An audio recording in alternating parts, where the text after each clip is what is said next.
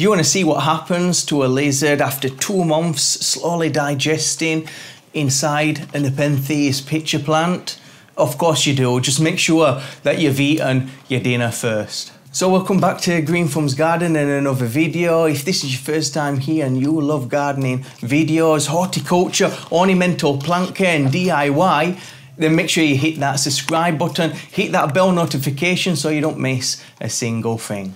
So Nepenthes is a type of carnivorous plant, also known as tropical pitcher plants or monkey cups. The latter name given because monkeys often drink from the pitchers as a source of water to get maybe whatever food has been caught inside hence the name monkey cup.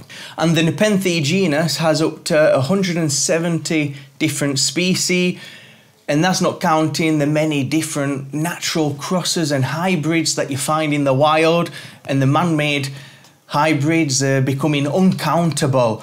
And this is um, a hybrid, what we have here, between Ventricosa and Lowii. Ventricosa is known for being a really awesome beginner friendly plant, very easy to grow, hardy, can tolerate a, a wide variety of climates, and it's being crossed with Lowii. Lowii is a very unusual, unusual looking Nepenthe, which has um, got this hourglass kind of shape, as you can see here.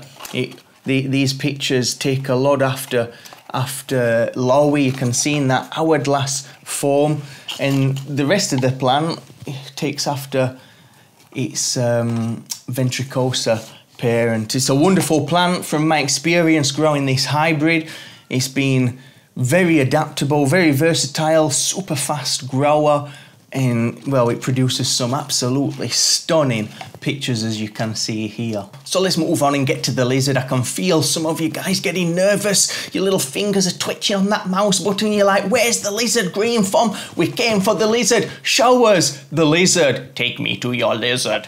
So two months ago today, I found two geckos frozen when I was cleaning out our outside freezer. They were right at the bottom, perfectly preserved and I took them out of the fridge. As you see there, look at them, aren't they beautiful? Such an amazing creature. Look at the eyes, the eyes are still shining. You'd think they were alive, but obviously they're long dead and well, I didn't want to waste them. I had to honour them in the only way I knew how. So I plopped Gordon in one pitcher and I plopped Michael in the next one. And it's actually been two months today that those two little geckos have been slowly digesting within these pitchers. Nepenthes use several different types of enzymes that the plant produces to break down its prey and slowly churn up like a sarlacc pit anything that's inside, turning it into a nutrient rich soup that the plant obviously uses as a fertilizer to feed and nourish it. Now you got to admit that's some pretty cool stuff. So let's take out the gecko, take a look. Okay, so let's dig into these murky waters. You see how murky the water is that's had that gecko in there for two months. And wow, we just pulled out a bit of gecko, a bit like a lizard tail. It just instantly dissolved as, as I was trying to pull it out and I was thinking that the whole gecko probably was still going to be there in some kind of one piece at least, semi dissolved, but that's all what's left, look, just goop. No idea if that's Gordon or Michael. I never told them, but they always looked the same anyway. But um, that's amazing. Look at it, that's all what's left. Let's get out these contents and throw them onto a plate and we can have a, a closer look to see what, what what's left that gecko, but man, them enzymes have really done their job in breaking down that flesh. Here we've got it on a plate and that's it man, that's, that's all what's left of that gecko. Maybe I shouldn't have left it so long. Oh, I cannot believe that it's digested that so fast. And look at that, there's a, look at that, there's a little bone there. That's the only thing left really that says that it was a creature of some type that little looks like a little femur bone belonging to one of them geckos. That's uh, really spectacular. Let's have a little hunt around. See if we can find anything else. That looks like another bone there. You see that little bone there?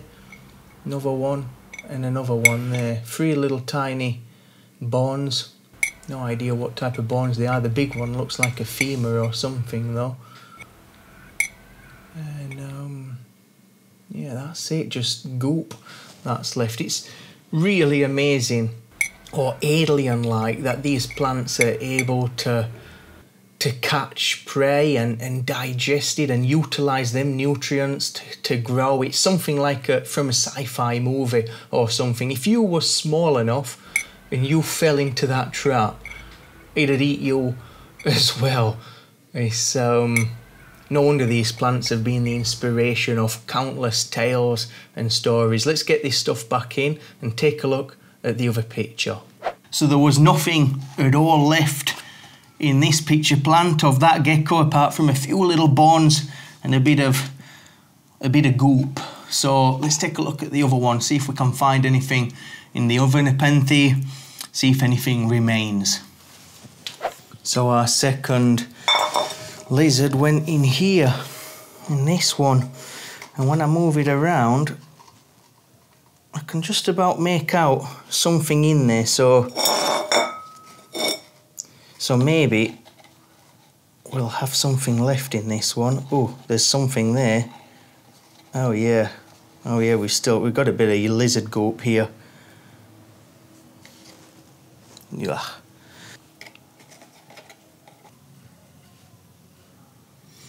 We've got a bit of a lizard's jawbone here. Lizard jawbone still what's left over. That's the jawbone that's left.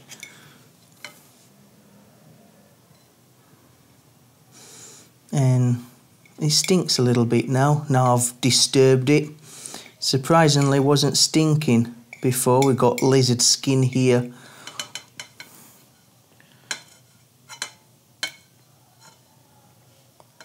That's amazing, eh? Completely churned up and digested by the plant. So you might be wondering, well, why is it not full of mould and fungus, all that rotting flesh for two months in the heat? We're living in Spain and it's pretty hot here. Why is it not all full of fungus? Well, it's nothing short than amazing that the Nepenthes plant produces puts into its fluid antifungal and antimicrobial compounds that protect the plant from dangerous pathogens and also creates a unfavorable environment so that fungus and microorganisms cannot thrive within this tiny little micro environment. Now, saying that, obviously, there's going to be some types of microbes and bacteria that can survive in this Nepenthes juice. What the plant probably allows it, and, and the studies that show there's some types of bacteria that work in symbiosis with the plant, helping to digest the prey further so that the plant can utilize as much as that nutrition as possible. It's truly an amazing plant, and once you get bitten by the Nepenthes bug, you can become infatuated, and it's a long lasting love affair that you'll have for the rest of your life. So, if you're not into this plant just yet, put it on your to do list. There's Nepenthes out there like Truncata and Rajah that have been known, and, and they've found small rodents like rats caught within their highly wooden traps. When you look at the traps, they're very woody.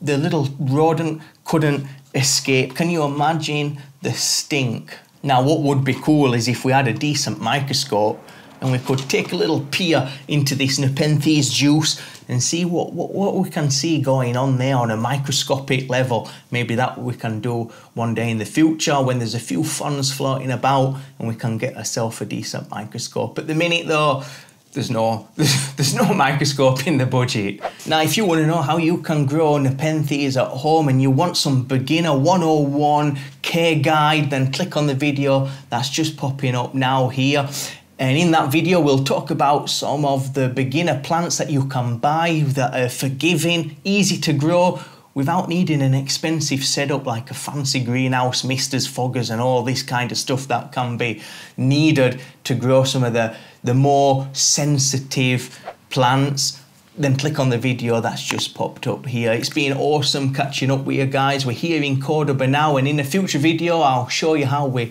getting along. Make sure if you want to support the channel to hit that like button, hit the subscribe button and the bell notification and be sure to share some of the channel's content with your friends. Helps the channel to get out there and get more views and, and helps the channel continue growing and that's an awesome way that you can support this channel.